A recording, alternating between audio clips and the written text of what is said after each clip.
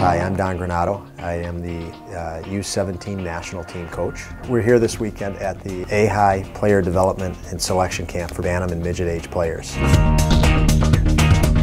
There's a lot of things that uh, encompass becoming a good player and the kids at this camp are very, very talented players, but they have a long way to go in their development. Everybody thinks of, you know, skating and passing and shooting as integral parts of development, and they are, but at the higher level it goes way beyond that. They're always making impressions on people, both on the ice and off of the ice. Believe it or not, how they use the internet will be indicative of, of your character. So as a team manager and coach, the next levels of hockey for these players, the organizations uh, look at that far more than these kids would understand. Decisions are made based on uh, their reputation.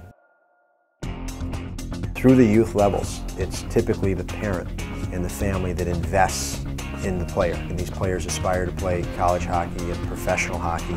There's a dramatic shift and change. And no longer are the parents investing, but the teams are now investing in the player. You've got to earn a roster spot, and you've got to re-earn it almost every day.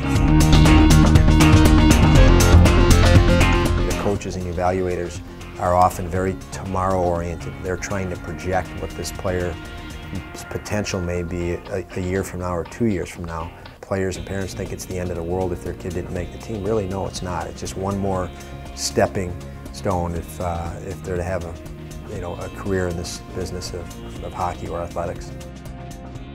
No matter how good the player is, the career is an evolution and those players have to engage in their own development. There's not a player that, that I could imagine that could play this be involved in the sport and not be positively affected by um, being part of it.